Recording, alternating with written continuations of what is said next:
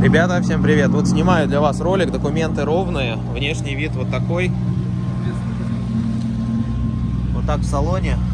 В принципе, все показатели, все датчики, все работает. Гидропалка.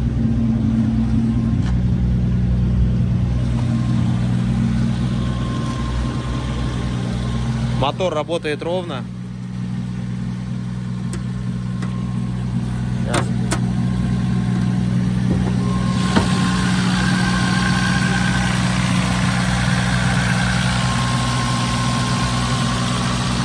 Как я и говорил, необходимо ВЕМС поменять, поменять, потому что там венгерский стоит, подыхающий.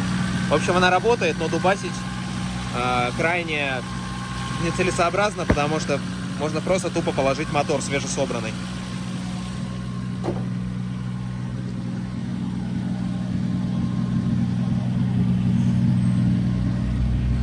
Желательно сюда каркасик варить с заходом на чашки. Там бюджет 100к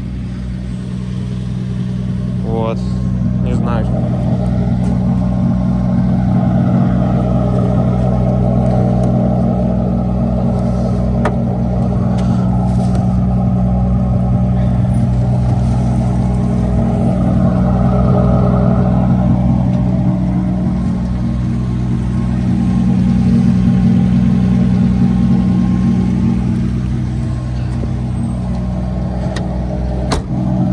Вот такая тачка.